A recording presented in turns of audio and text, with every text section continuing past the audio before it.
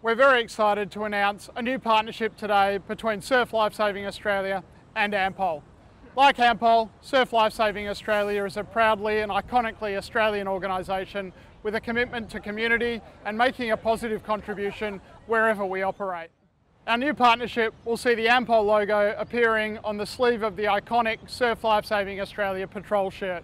So whether you're an avid beachgoer or a casual visitor, you can feel very confident that Ampol is going to be supporting Surf Life Saving Australia and the volunteer network supporting and protecting Australians on beaches this summer. We can't wait to get this new partnership started. Well, it's an exciting day today for Surf Life Saving Australia and also for Ampol, who are now our major partners. Surf Lifesaving Australia has 180,000 volunteer members, which makes it the largest volunteer organisation of its kind in Australia if not in the world.